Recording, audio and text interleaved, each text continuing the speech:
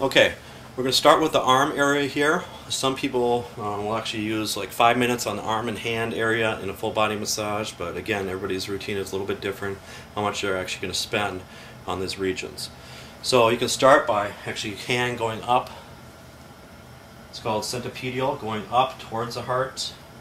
Again, you can use more pressure going up towards the heart, and then less pressure actually coming back down, so you get that nice fluid flow with that then. So going up with more pressure.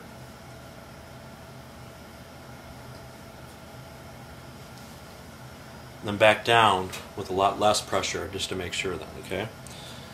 So another technique, you can actually hold the wrist, but with holding a wrist, be, be careful how much pressure you're actually using.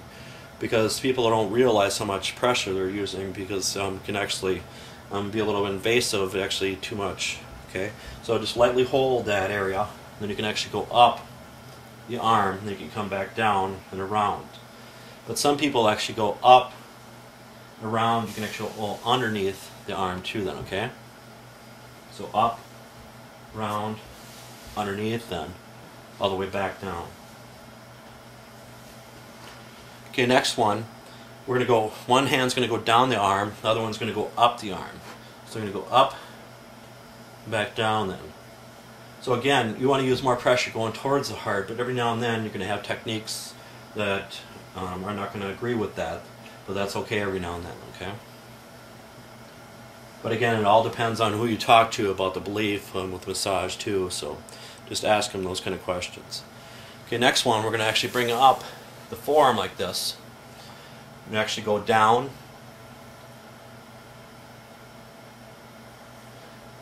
And if you're performing it really hard, sometimes the fingers will actually open up when you're actually performing it.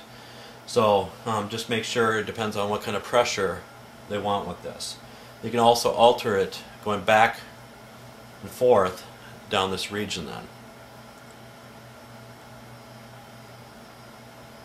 And you can even hold the wrist and just one at a time then for this area too. So again, all depends on what kind of pressure they actually want with the techniques. Okay, next one, I'm going to perform more of a shimmy it's called. So I'm going to actually hold here, and actually hold here. We're just, I'm just going to go back and forth. You can actually go pretty fast. You can even go faster than this if you can. But just, again, make sure it's not to the full range of motion whenever these jarring movements. So more of a jostling technique, so more of those kind of movement techniques then. So you can also just hold up the arm, just move it back and forth. But if somebody's self-conscious about their tricep region, but wiggling a lot, um, don't use this technique then. So again, it all depends on what kind of what what they feel com more comfortable with then. Next one, we're actually going to go up. We're coming back down. We're just going to give a little pull right at the wrist area. Going up Coming back down with lighter pressure again. Next one, we're actually going to go up. We're coming back down, we're just going to give a little pull right at the wrist area. Going up, coming back down with lighter pressure again, and then kind of pull at the wrist area. Going up, and kind of pulling. Okay, next one. Remember how we went down here and up at the same time? But you can actually incorporate more of the chest area into it too if you want. So you can go up, more of the upper chest, so just not the breast tissue area for this.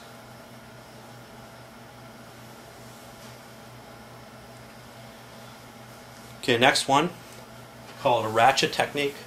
So you're actually going to extend and slide up, okay? So if you have a person that wants a little bit more pressure and your body is not capable of giving more pressure, it's just actually performing more of a stretch and a massage all at the same time then.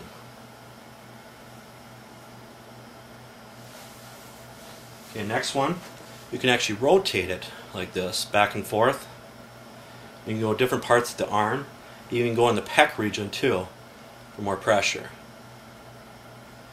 And just be aware of where the arm is going just to make sure it doesn't hit you. But I'm going to go to the other side and actually demonstrate you can go the other, other direction too then, okay? So you're actually going this way then. So you get a different kind of motion that, that and everybody's heard of a snake bite before. You can actually perform this on a massage and it still can be relaxing. So just going back and forth with this on the arm area. Now again, if they want more pressure, just watch your body while it's reacting to it. Okay, next one, you can crank it to one side, turn it to the other side, one side, next side, one side, next side. Okay? Okay, next one we're going to do is we're going to bring it up over the head area with the massage. So what we're going to do is actually start here. You can massage. Actually, just give a little pull, right like that. Then. And when you're in this position, what you can actually do is actually go down underneath, so you can get more of the back area too. And some people, what they'll do is actually have a little bit exposed, so it's a little bit easier to get under right here. So you can actually even go down all the way to the lower back area, all the way. So more of a longer technique. And if they want more of a stretch, you can actually have them hold on to your wrist. I hold on to their wrist. So you can traction a little bit more to get that technique then, okay? Okay. Next technique we're going to perform is actually more broadening technique. A broadening is when you kind of separate. So what we're going to do is right in the forearm region, just separate. And you can even perform it up on the bicep region too. But for women's breast tissue, just make sure the arm is up here a little bit so you're not hitting their breast tissue.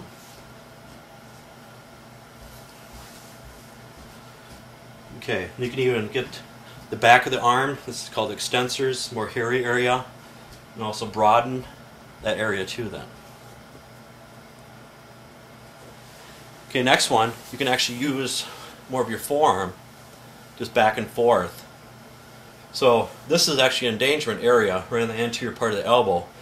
But with this, I'm actually just using my forearm back and forth. You can actually do a little stretch if you want to with that then, okay?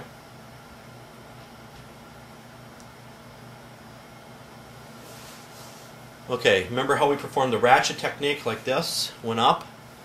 Now we're actually with the forearm, actually flexion, slide, okay? Flexing the wrist and sliding. So flexing, sliding. And if you want to perform it the opposite way, extension. So palm up like this, I'm going to go down. But again, right directly in the center, it's called the median nerve. Make sure you're not using any pressure right in that area. So more either medially or laterally, so one side or the next, with the techniques, just to make sure that.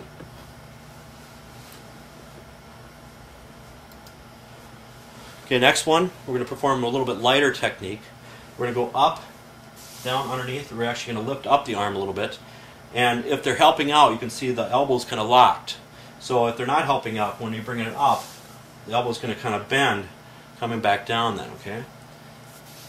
Don't come up, lift it, and just slowly bring it on, back on the table then, okay?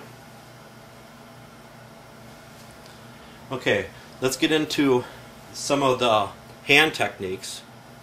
We'll get back to the arm. We'll actually perform a little bit of stretching. I'll show you some basic stretches for those regions. Okay, with the hand region, right in between the tendons, it's called chucking. It's a form of friction. You go back and forth kind of fast if you want, or you can actually just uh, slow glide in between in between the tendons here. Then also at the wrist area, this is the extensor side, so you actually go right around the carpal bones. You can even separate right in there too. Or you can do circular friction back and forth in that area. You can also flip it over and perform more of a broadening technique right here too. So especially people with um, carpal tunnel problems, hand, wrist problems, forearm problems, concentrate in this area. So again, the median nerve, make sure you're not putting pressure right on the median nerve. It's directly center for that area then. Okay, next one, more of the palm area. You can separate the palm area works really nice. And again, um, carpenters, um, mechanics, people that are clinching up all the time with tools, this is the area that they usually need the most. And with this, you can also use your knuckles right into there. And you can go just back and forth, even twist, or like you're playing the piano. Okay, with the fingers, you can actually just slide the fingers, you can friction back and forth. So whenever you're performing massage techniques, try to perform at least three times for each massage technique, just to make sure, um, because it takes a little while for them to actually feel it. So you can find out whether they like a technique or not. Just watch your body mechanics, watch how their body reacts.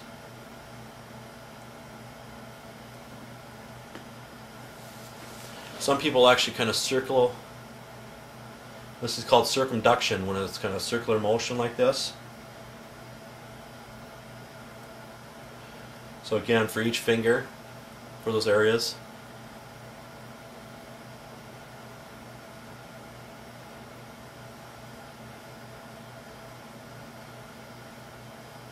Okay, some of my favorite stretches for the palm. I'm actually going to lock it in here. So pinky. I'll put the pinky right in here, right where the thumb is. So like this. Wrap three fingers around, wrap three fingers around over here and then actually spread the palm area.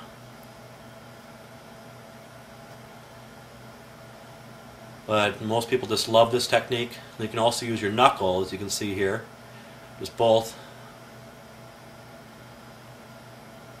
Back and forth. Okay, next one's a little bit more difficult. Rotate the hand like this. So, right in between the index and the middle finger, I'm going to put my pinky. I'm going to put two fingers in between the thumb and the index like this. Okay, and then I'll show you the other side real quick. To put the pinky in here, right in between the middle and the ring finger, and then the other finger in between the ring and the pinky, like this. So again, like this, like this, so it's more of a stretch. I'm going to separate the palm area then. So it's again, it's just more of a stretch for that region. So then you can also perform a little bit of flexion or a stretch. So remember stretching, you want to slow in, maintain it, then slow out then, okay? So again, no jarring techniques. You can also perform extension for this area. This is actually called radial deviation, more of the radial bone. You can stretch it out that way or ulna deviation because this is the ulna bone over here. And stretch it out that way then too then okay? And then some people actually one hand going up one hand going down actually more of a traction right in the wrist area then. So just back and forth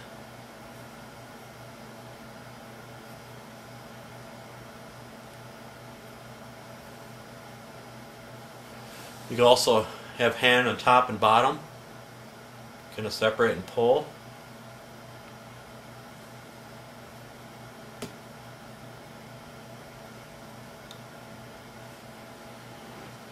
Okay. And also circular friction with your palm in these regions.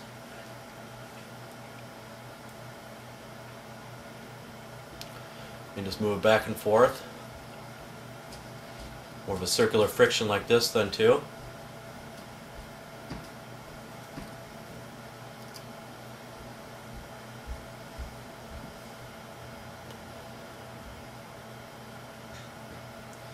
You also just stretch out a finger at a time.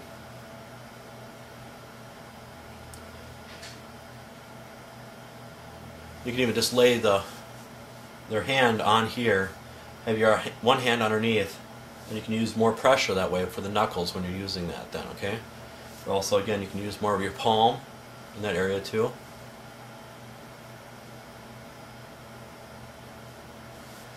You can also kind of squeeze the whole hand praying for pain.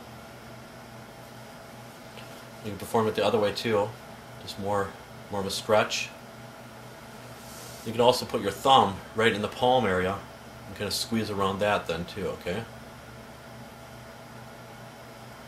A great technique for the palm area is actually extend the fingers and go right down the palm, okay? Extend, go out, Works really nice. Next one, you can just stretch out the, the thumb. You can even just wrap your thumb in here. Just get more of a stretch than that way too. So again, always make sure you know what they do for a living so you know what areas to concentrate on a little bit more too. So it actually helps them out. And right here, Asian medicine, they believe this is more of a headache point. It's called large intestine 4. So you can actually stretch, um, actually compress this area. You can either circular friction or actually just hold it down. But for, for pregnant women, you want to stay away from that point. So again, if you're if the client is pregnant, um, stay away from that. But there are a lot of precautions with a pregnant individual, but um, mainly uh, make sure you get training for that and when you're working on pregnant women, just to be safe. Okay, then you can also kind of just rock it around a little bit, kind of shake it, the hand, and then back and forth too. You also just do a little bit of motions back and forth and circular motion just to see how relaxed they are because if they're not it's going to just be tensed up more in that area. So you can also just use one knuckle more in the palm area. And some people's hands are really dry. I prefer you use lotion for the hands, but some people actually use oil. But the thing is, when they're done with the massage treatment, their hands are usually all oily. So it's a lot better to actually use um, lotion for the hands and the feet, and especially when they get up off the table for their feet. Um, you're going to get oil stains on the carpet, um, and then also going to slosh around in their shoes, um, especially if they're just wearing sandals. Um, a nice hot summer day, um, they're going to actually slip out of their shoes easier that way. So again, lotion, it will absorb really nice. Some people will use cream, but it's not the same as lotion for the hands and the feet. Okay, so you can also go up and down with the palm area.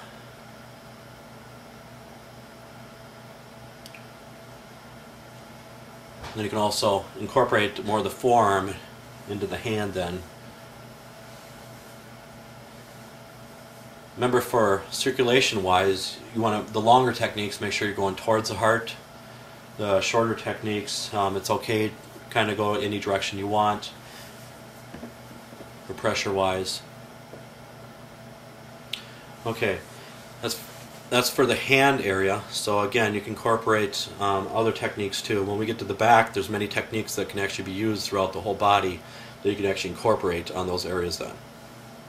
So what I'm going to do is I'm going to show you some um, stretching with the arms, some basic stretches. Okay, some stretches with the arm. Again, we showed you this a little bit, but remember when we actually massaged up like this, but you can actually just hold it for a stretch. And you can actually just hold the pec area hold it down then too that way. Or you can actually use your knuckle right in the pec area too. Or you can actually just bring it down for a stretch. So it all depends on what they can handle. Next one, we're going to actually go is go underneath here like this, like this. So you see, I actually have it wrapped around like this, actually pulling it down. So you can actually massage more of the tricep region, works really nice. So that's a really good stretch, but also massage technique for that area too then. Another one, you can actually bring the arm over the body like this. And this is a nice one you can actually perform massage too. But just make sure it's not too much on the neck area, not too much more on the chest, the breast area. So it's right in between. So you're actually going like this. You're actually going up then, like that. And if you want, you can actually go underneath. You can even go all the way to the vertebral border of the scapula the long part of the scapula here, you can actually kind of hook it and just give a little pull to that way. So again, you can kind of rock it too in this kind of position. And for a stretch for more of the pec area, what you can do is actually compress the pec area and just bring the arm off the table a little bit. But you can actually bring, have them scoot over to the side of the table um, if they if they like some of the stretching. So then you can actually bring the arm off the table more. But whenever you compress an area, it makes it a little bit easier so you don't have to work as hard then. So again, when you compress the area and stretch it out, it's going to be a little bit easier for you. Okay, next one we're going to perform. I'm actually going to go underneath here. I'm going to rotate the arm like this. Hold it like this. Okay? So you can actually, it's a little bit of a stretch, depends on what they can handle. And they can actually massage right on the humerus area, the pec area, all those areas. But it works really nice. You get a little bit of difference with that because most people just leave the um, arm on the table, they won't move it around at all. So it gives you a little bit of creativity um, so you don't get bored as much too. So, so many of us these days are getting stuck in a routine so you can actually mix it up a little bit for those areas then. So, next one you can actually just bring it out here like this and just give a little traction, okay? But uh, again, you can actually massage like this and attraction too. You can also kind of rock it back and forth too in different angles, different directions. Okay, some people just kind of rock a little bit nice and light all the way up to the stretch point and if you want you don't have to go to the actual full stretch for those areas. But again, this is a really good uh, tricep stretch for right here. Okay, so you remember when we performed it like this then. But if they are kind of flexible, you can just have their head off a little bit, um, actually, and bring it down even more so you can get more of the tricep. But again, remember how we went like this and this, and kind of hooked it around to get that stretch. Okay, next one, we're going to perform right in the pec area. We're going to go like this, okay, and I'm going to grab right under uh, the bicep tricep area. And I can bring it up like this. So you make a massage technique out of it too, but you stretch them out then, okay? Okay, so go down, bicep tricep area, just give a little stretch. So if you're capable, you can actually perform both arms at the same time, otherwise just perform one at a time then, okay? Okay. Just make sure you're watching your body mechanics with this. You're not bending so much with your back when you're performing these techniques. So Again, there um, most people don't incorporate stretches into it, but it all depends on what you'd like to.